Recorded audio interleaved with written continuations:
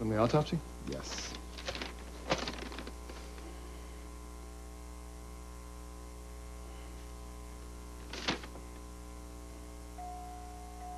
Are you sure about this? That's why I'm talking to you. I don't understand. If he was dying of congestive heart failure, how come there's no fluid in the lungs? That's the mystery. You observed this autopsy yourself, correct? Yes, I did. There has to be a mistake. No, there's no chance of one. So the question is... If Douglas Carson didn't die of congestive heart failure, what did he die of? No, I'm not being dramatic, Dr. Hudson. I'm just looking for answers. If he didn't die of congested lungs, what could have possibly killed him? Weak heart taxes the entire body. Yeah, but we were taking really good care of him, monitoring all his systems. There weren't any red flags. No, don't. was- Do not do this to yourself.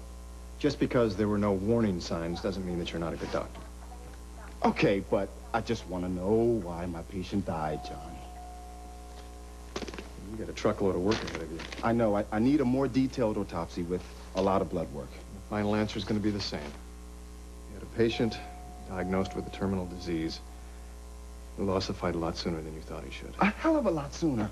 But if I want to keep treating patients, if I want to help someone with the same condition, then I need to know. Damn it!